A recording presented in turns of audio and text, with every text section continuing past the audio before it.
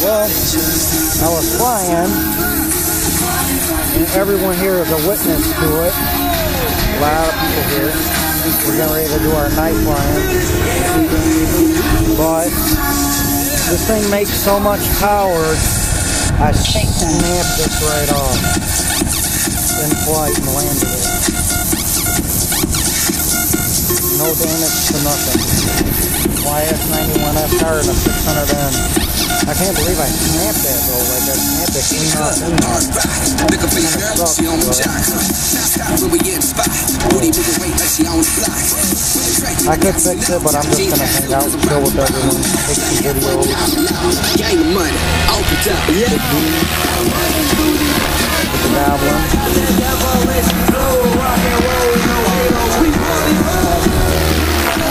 Need to turn the autofocus off. But yeah, this snapped on me right in flight. And I was banging on it. I was doing barrel flips. And when I, I think I was barrel flipping and I heard it, the blade flutter real bad. And throttle hold right away and landed it. Lucky, lucky, lucky.